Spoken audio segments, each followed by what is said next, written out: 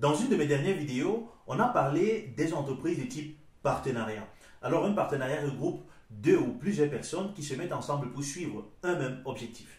Mais ce type d'entreprise amène avec euh, elle aussi des inconvénients, notamment le fait que en cas de dégâts que l'entreprise doit couvrir, tous les partenaires sont responsables, et même avec le patrimoine personnel. Ou alors, seulement une partie des partenaires sont responsables au profit d'un certain commanditaire qui ne va être que responsable à une somme Pour pallier à ce problème, il existe bien évidemment aussi un type d'entreprise appelée société, et nous allons en parler en détail dans cette vidéo.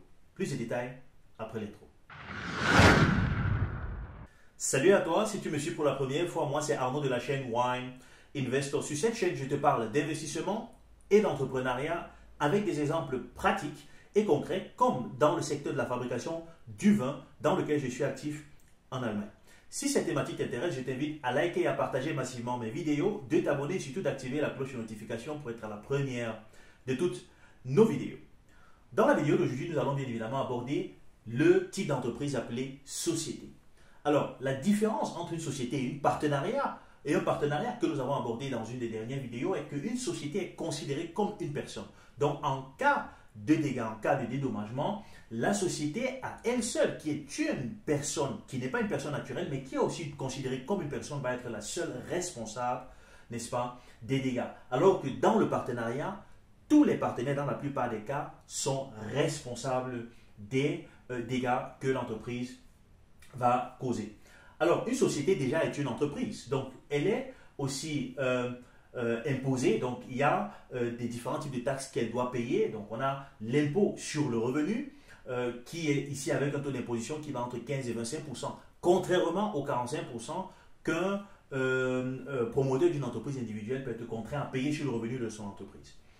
La taxe sur la valeur ajoutée, bien évidemment, ici sur les 7-19%, dépendamment du type euh, de produit que l'entreprise vend. Et aussi la taxe commerciale. Donc la taxe sur le commerce, ce qu'on appelle en Allemagne le Gewerbesteuer.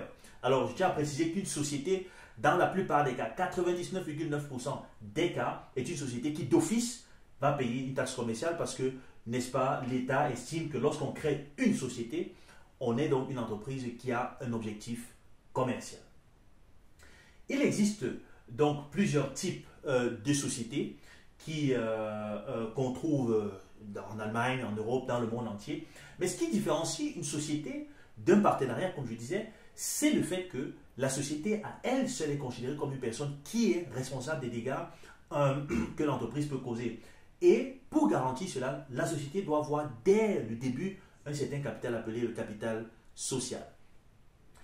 Mais on reviendra dessus, il existe plusieurs formes de euh, sociétés et justement il y a des différences, des nuances à ces niveaux qui ont à voir avec le capital social qu'une entreprise, dont une entreprise doit disposer euh, du moins dès le départ euh, et au moment, du moins au plus tard au moment où elle doit dédommager des personnes tierces. Alors le premier type d'entreprises qui existent dans le monde, ce qu'on appelle les sociétés à responsabilité limitée. Et cette responsabilité limitée résulte du fait qu'au départ, l'entreprise a pris l'engagement d'avoir un capital social dont elle prouve, n'est-ce pas, d'être en disposition au départ de son activité au cas où il y aurait des dommages à couvrir. En Allemagne, il existe deux types de sociétés à responsabilité limitée. Premièrement, la plus connue, c'est la GmbH, donc la traduction directe d'une société à responsabilité limitée, ce qu'on appelle une Gesellschaft mit beschränkter Haftung. Donc, c'est une entreprise qui impose en fait euh, un capital social de 25 000 euros. Donc, euh, lorsqu'il y a des dédommagements à payer, l'entreprise est responsable en fait des dédommagements à jusqu'à hauteur de 25 000 euros. Alors, il y a eu un bon, pendant un bon nombre d'années quelques difficultés pour les entrepreneurs qui ont un petit capital et qui voulaient déjà quand même se lancer avec une certaine responsabilité limitée. Et c'est pour ça qu'au fil euh, des temps, du temps, avec de nombreuses plaintes, alors l'État a décidé de, permettre en fait une sous-forme en fait de la GmbH, qu'est-ce qu'on appelle en fait un UG, donc Unternehmergesellschaft. Ici donc, euh, un ou plusieurs personnes se mettent ensemble et créent donc, n'est-ce pas, la société euh, avec un capital social ici qui est selon la loi défini à 1 euro. À 1 euro. Mais on suppose que euh, c'est une société ici qui va grandir au fil du temps. Et la loi impose que lorsqu'on crée une OUGE, on va convertir au moins 25% de son bénéfice chaque année en capital social au, point, au moment jusqu'au moment où on atteint 25 000 euros ou alors la moitié de cette somme pour être déclaré en fait à, euh, à une société à responsabilité limitée. Donc l'objectif en fait d'une OUGI est de permettre aux personnes de commencer avec un petit capital, surtout dans des business où on pense qu'on peut avoir vraiment euh, une certaine rentabilité et de rapidement créer en fait des bénéfices et prendre une partie de cela pour euh, investir dans le capital social et de devenir en fait une GmbH. Il existe aussi maintenant des sociétés à action, dans ce qu'on appelle ici des AG. Et aussi un certain mélange entre une GmbH et voilà des formes de partenariat que nous avons vues euh, dans euh, l'une des vidéos précédentes. Donc, j'avais parlé dans une des vidéos précédentes de ce qu'on appelle un commandite Gesellschaft. Donc, c'est une entreprise où on a un commanditaire et un complémentaire. Et le commanditaire, c'est la personne en fait qui va être responsable des dégâts que l'entreprise peut causer jusqu'à un certain montant. Au-delà de ce montant-là, il n'est plus responsable. Et le reste doit être pris, euh, n'est-ce pas, en partie par le, ce qu'on appelle le complémentaire. Et l'avantage d'un GmbH, d'un partenariat donc, entre une GmbH ou alors une société de responsabilité et une personne tierce qui est euh, pour former donc en fait le partenariat KG, c'est ce qu'on appelle donc GmbH en co-KG. Et dans ce cas, le GmbH, donc, c'est de là où provient l'avantage de ce partenariat, c'est que euh, la société à responsabilité est le complémentaire. Donc, et le complémentaire, donc, qui est cette personne-là qui va être responsable avec tout son patrimoine, n'est-ce pas, personnel? Et donc, la GmbH ici, donc, elle a un patrimoine personnel de 25 000 euros. Donc, ça peut être vraiment un très, très grand avantage. Alors, en quoi, n'est-ce pas, constitue une société? Alors, euh, pour commencer euh, par le plus haut, donc, une société est créée d'abord par des actionnaires. Donc, on a euh, un ou deux personnes qui se mettent ensemble et créent donc la société. C'est ce qu'on appelle ici des actionnaires. Ça peut être une personne, il y a des sociétés, donc il y a un seul qui ne dispose que d'un seul actionnaire. Mais on peut avoir voilà, un nombre illimité de personnes ici en ce qui concerne en fait la société à responsable, du moins les sociétés. Et ces personnes vont donc, auprès d'un notaire, dresser ce qu'on appelle un statut. Et dans le statut, le statut définit en fait les parts des différents actionnaires. Le statut définit en fait, euh, voilà, peut-être si les actionnaires disent que chaque année, quand on a un bénéfice, il faut que 20% de ce bénéfice-là nous soit reversé par la société. Tout ça est décrit en fait dans ce papier aussi. Euh, et on va le voir tout de suite. Quand une société, par exemple, comme la GmbH, a un capital social de 25 000 euros, l'entreprise, moins la société, ne doit pas disposer dans ses caisses automatiquement de 25 000 euros, mais au moins de 12 500 euros. 12 500 euros minimum doivent être dans le compte. Donc, les actionnaires peuvent décider aussi dans ce statut la date euh, voilà, butoir à laquelle euh, tous les actionnaires doivent avoir reversé le reliquat. Donc, ça veut dire que si les actionnaires au départ ont versé seulement 12 500 euros et qu'ils sont, n'est-ce pas, à part égale, donc 50-50%, dans ce papier, ils doivent décrire aussi jusqu'à quand est-ce que chacun doit rapporter au fait les autres euh, euh, contribuer les autres 6 500, 12 500 euros qui restent donc 6 250 euros chacun. Dans le cas où ce n'est pas défini dans ce papier, les actionnaires ne vont pas le payer, mais seront au moment où l'entreprise fait face à des problèmes et doit être responsable jusqu'à 25 000 euros. Ils doivent être, ils sont contraints donc à n'est-ce pas, verser en fait ce reliquat de 12 500 euros et sont responsables avec le patrimoine personnel pour ces 12 500 euros. Maintenant, en dessous du conseil d'administration, ce que je vais appeler ici l'ensemble des actionnaires, on a bien évidemment une équipe de gestionnaires. Donc, les gestionnaires, ce sont des personnes, les gérants, des personnes qui vont gérer l'entreprise et qui très souvent vont prendre des décisions autonomes pour euh, se rassurer qu'à la fin d'année, on atteint les objectifs qui sont définis par le conseil d'administration. Donc, euh, ce sont des personnes qui généralement font ce travail pour un salaire. Mais on peut avoir dans des très petites formes, pour quelqu'un qui décide de créer une GmbH par exemple, il est seul, il est le seul actionnaire, ou bien ils sont tous les deux, ils sont tous les deux actionnaires, et puis il y a une personne qui est gérant, ou alors les deux sont en même temps gérants. Dans ce cas, les personnes sont actionnaires, mais en même temps euh, salariés. Donc, ça veut dire qu'ils vont percevoir peut-être un salaire euh, allant de zéro à euh, dépendamment, n'est-ce pas, du nombre d'employés que la société a, peut-être jusqu'à 300 000 euros, 400 000 euros, et ainsi de suite. Il y a des lois, bien évidemment, qui définissent en fait les salaires normaux des différents gestionnaires dans une société. Et en dessous de cela, maintenant, on a la société. Et c'est là où on a quand même un bon nombre d'avantages. Parce que cette société, elle est considérée comme une personne juridique, comme je disais au départ. Elle a une adresse comme une personne naturelle, comme toi, comme moi. Elle dispose aussi des biens immobiliers, comme toi, comme moi. C'est-à-dire qu'elle peut acheter par exemple un immeuble et décide de louer en fait le rez-de-chaussée de cet immeuble et c'est à ce rez-de-chaussée qu'elle a son adresse. Et elle décide de, euh, voilà, de, louer aussi, donc c'est-à-dire de mettre à disposition les deux autres étages à peut-être des entreprises ou alors à des personnes particulières perçoivent pour cela aussi un certain loyer. L'entreprise aussi peut avoir, comme toi et moi, cette personne peut avoir, comme toi et moi aussi, des actions dans notre entreprise. Mais au-delà de cela, elle a bien évidemment une activité principale que la société elle-même fait. L'activité principale de la société, ce pour laquelle la société a été déclarée.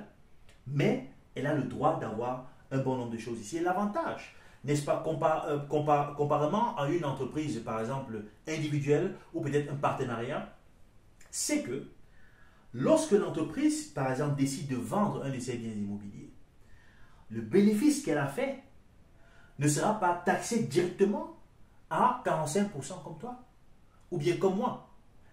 On va additionner son bénéfice avec peut-être les bénéfices qu'elle a fait en vendant certaines de ses actions additionné aux bénéfices ou alors aux pertes que l'entreprise, que l'activité principale de l'entreprise a fait. Et c'est la somme de tout ça qui sera maintenant taxée, que ce soit avec 15% par exemple pour la taxe sur le revenu, avec 15,2% euh, en moyenne pour la taxe sur le commerce, et bien évidemment la TVA de toutes les façons, ça c'est le client qui paie. Donc on peut dire à peu près à 33%, ce qui est encore bien évidemment au-dessous de, en dessous de 45%, 40-45% que une personne individuelle peut payer en fonction de son taux d'imposition salariale ou de revenu. Ça fait donc partie des avantages qu'une société peut avoir.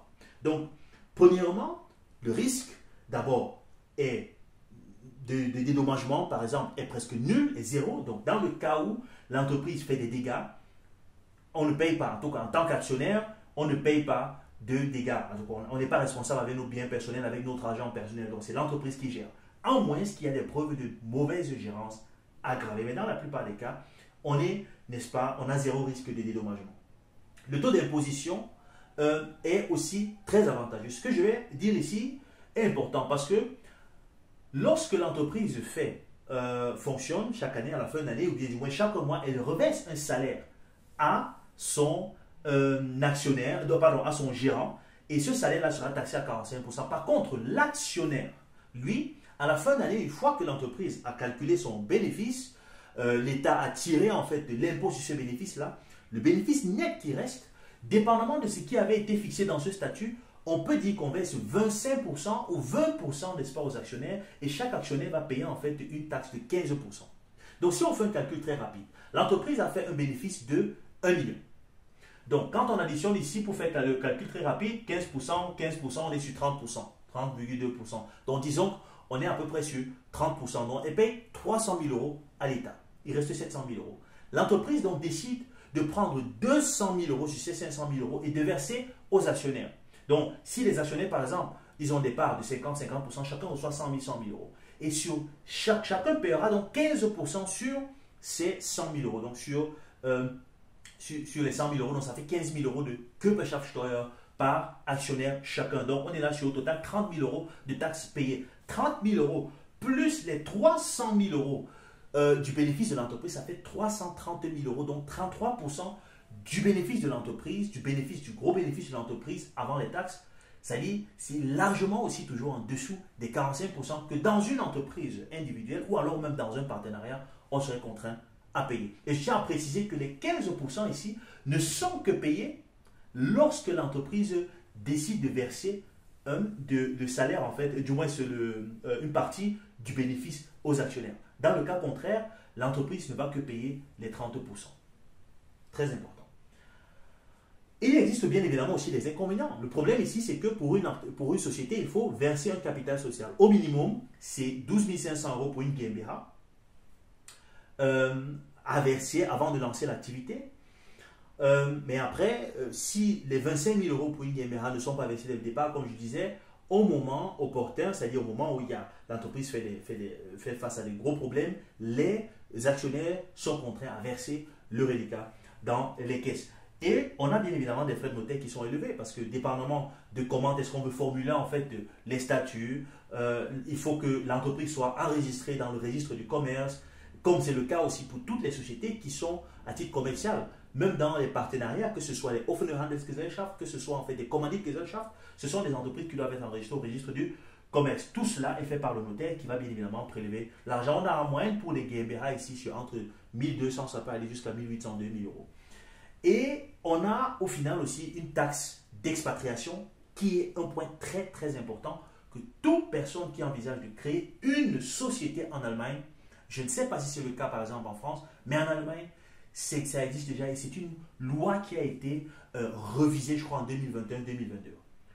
Lorsqu'on crée une, entreprise en Allemagne, que ce soit une UG, que ce soit une GmbH une, euh, ou alors euh, une, une, société à action, dont Aktiengesellschaft AG, si l'entreprise commence à avoir de la valeur, donc ça dit qu'elle a, un, disons, un revenu moyen par an de à peu près à partir de 25 000 euros le revenu, de à peu près 25 000 euros, et que les actionnaires décident d'abandonner l'Allemagne, d'aller s'installer par exemple, je aux États-Unis ou je ne sais où, même dans un autre pays hors de l'Allemagne, même si c'est toujours dans l'Union européenne, s'ils décident de quitter l'Allemagne pour aller même peut-être en France et ne veulent plus rien avoir à faire avec ces sociétés et ainsi de suite.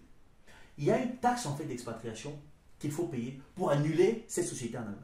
Donc soit on annule cette société-là, et on quitte l'Allemagne, soit on la vend avant de quitter l'Allemagne. Et quand tu la vends en tant que, avant de quitter l'Allemagne, la valeur de l'entreprise, bien évidemment, est considérée. Et la valeur de l'entreprise, c'est à peu près 10 fois, 10 à 15 fois le revenu annuel moyen de l'entreprise. Donc, si vous avez une entreprise, par exemple, qui fait 20 000 euros, 25 000 euros de chiffre d'affaires, ou peut-être 30 000 euros de chiffre d'affaires, ça veut dire qu'à un moment où vous vendez euh, l'entreprise, la valeur de l'entreprise est estimée à 450 000 euros minimum. Et lorsque vous arrivez à vendre cette entreprise à 450 000 euros, l'État va venir vous couper, n'est-ce pas, euh, une taxe sur ces 450 000 euros. Donc vous devez payer en fait à peu près, on peut euh, parler d'à peu près 30 à 40% de taxes que vous allez payer. Mais si vous ne vendez pas et que vous voulez complètement annuler, qu'est-ce que l'État fait? Prenons le cas par exemple d'une entreprise qui gagne 30 000 euros. 30 000 euros, la loi demande qu'on multiplie en fait ce revenu moyen, c'est-à-dire le revenu des trois dernières, la moyenne des revenus des trois dernières années, et on le multiplie par un facteur de 13,75. Donc on est là pour une entreprise qui fait 30 seulement 30 000 euros de bénéfices de chiffre d'affaires, on est là sur 412 000 euros. Et sur ces 412 000 euros, on prend 60% de ça. 60% de 412 000 euros, ça donne 247 500 euros. Et c'est sur ces 247 500 euros que vous allez payer une taxe de 45%, jusqu'à 45% selon votre taux d'imposition. Donc, pour quelqu'un qui a 45%, il doit payer 111 375 euros avant de quitter l'Allemagne. Donc, ça, c'est aussi un inconvénient qu'on peut avoir dans ce euh, type d'entreprise. Mais nous savons que généralement, lorsqu'on a une entreprise qui marche, qui tourne bien, ainsi de suite, qui a quand même la valeur, qui produit au moins 25-30 000 euros par an, on fait tout en fait pour la garder, on fait tout pour qu'elle s'optimise, pour qu'elle pour qu'elle avance. Et même si on veut quitter l'Allemagne, on peut laisser l'entreprise qui est une personne juridique qui va toujours continuer à occuper une adresse, un local en Allemagne et qui peut avoir, qui a le droit d'avoir un gestionnaire qui n'est pas obligé d'être en Allemagne. Voilà à peu près en fait euh, un résumé de ce que c'est qu'une société, des avantages et des inconvénients que ce type d'entreprise peut avoir. Je te donne rendez-vous à ma prochaine vidéo. C'était Arnaud de Wine Investor.